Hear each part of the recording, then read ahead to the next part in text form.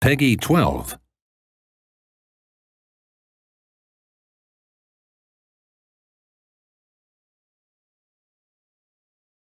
I have been assigned to be your exclusive angel to support you from now on. Then, although I may still lack experience, I shall serve as your guide.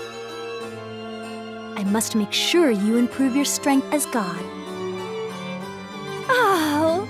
How I have missed this!